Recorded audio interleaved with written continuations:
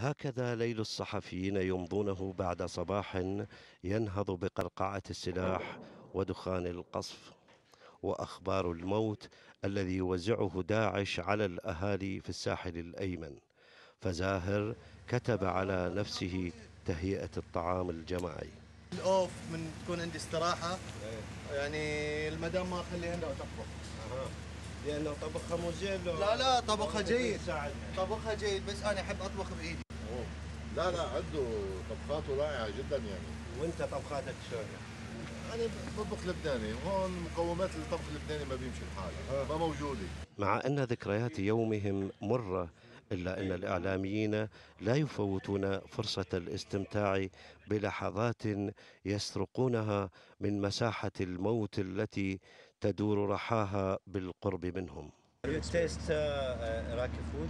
Yes, I love Iraqi. Ah, Yeah. which one? I love kebab, shawarma, you name it, bread, tea, everything. There hasn't been one thing I've eaten that I don't like.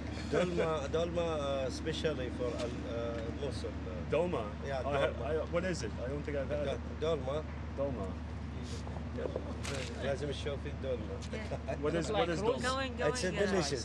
هذه الشابة نازحة من الساحل الأيمن. جاءت بمساعدة الشرطة الاتحادية للدخول إلى أهلها بعد التحرير وهي تود المساعدة في الطبخ.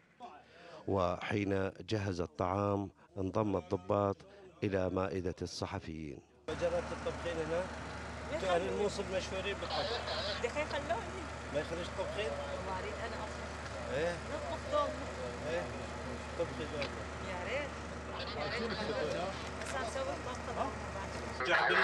عصوتنا يوميا الكوادر كلها تنجمع هاي القعده الضحكه السالفه الحمد لله وبعد الطعام ينام الجميع ليستقبلوا يوما آخر حافل بالمعارك.